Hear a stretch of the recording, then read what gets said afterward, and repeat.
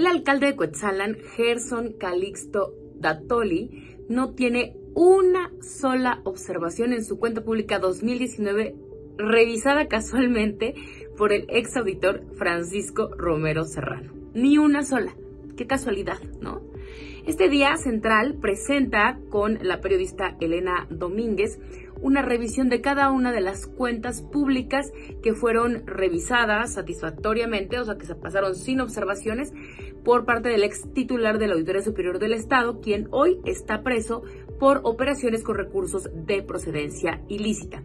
Esta revisión se hace luego de que fue revelada una red de corrupción entre el ex dirigente del PRI Javier Cacique, el ex diputado local eh, Jonathan Collantes y el eh, eh, anterior titular de la Auditoría Superior del Estado, Francisco Romero Serrano.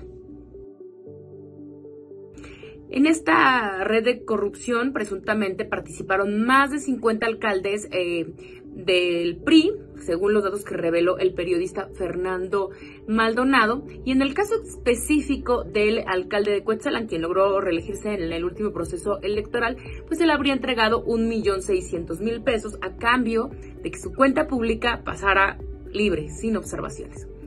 Calixto Datoli es uno de los alcaldes que aparecen completamente limpios según los informes individuales que ya están disponibles en la página de la Auditoría Superior del Estado. Esto es conforme a su cuenta 2019. Y a pesar de que esta parece que es una evidencia concreta de que sí hubo un acuerdo con el ex titular de la Auditoría Superior del Estado, pues él salió a defender que jamás hubo algún tipo de acuerdo con Romero Serrano. Entonces, ¿qué pasó? Resulta que el alcalde es impoluto, que no se equivocó ni siquiera en la entrega de su cuenta pública, como sucede con todos los alcaldes casi. Además del alcalde de Coetzalan aparecen otros 19 municipios gobernados por el PRI que no tienen una sola observación en 2019. No podemos decir que por eso hayan sobornado al titular de la Auditoría Superior del Estado, pero es importante mencionarlo luego de que el presidente del Congreso, Sergio eh, Salomón, dijo que están analizando que todas estas cuentas públicas que ya había dado por buenas Romero Serrano regresen otra vez a ser auditadas.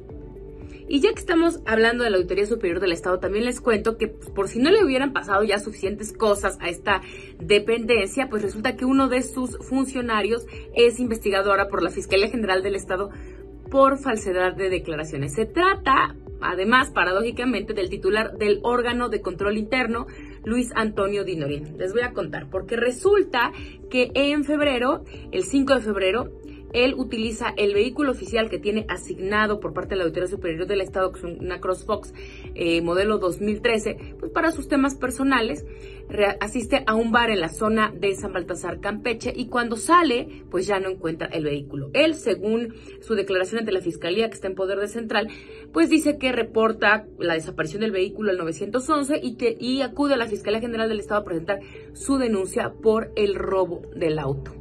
Es importante decir que el funcionario, este eh, funcionario de la Auditoría Superior del Estado, según lo que declara ante la Fiscalía General, pues eh, dice que había ido a visitar a un familiar al hospital del ISTEP y que cuando bajó pues ya no estaba el auto, ¿verdad? Porque no podía decir que estaba en em, pues de fiesta y mucho menos que se encontraba alcoholizado. Abren una carpeta de investigación y hace unos días la Fiscalía General del Estado le informa a la ACE que ya localizaron el vehículo. Acuden a las instalaciones para recuperarlo y resulta que no se los pueden entregar porque el vehículo no se lo habían robado, estaba en el corralón porque se lo había llevado la grúa. Entonces, pues el vehículo se va a quedar a resguardo porque la Fiscalía General del Estado ahora está investigando falsedad de declaraciones por no saben si realmente este funcionario sabía lo que había pasado o eh, estaba como fingiendo que habían robado el vehículo para salir del embrollo. Esto es importante porque Dinorín tendrá que demostrar, entre otras cosas, que en realidad estaba en ese lugar visitando a un familiar en el ISTEP. Él es uno de los funcionarios ligados a Francisco Romero Serrano que todavía sobrevive en la Auditoría Superior del Estado, pero les aseguro, esta es cuestión de unos días para que salga de patitas a la calle. Yo soy Viridiana Lozano y esta es mi columna Guía para Irreverentes que se publica todos los días en periódicocentral.mx.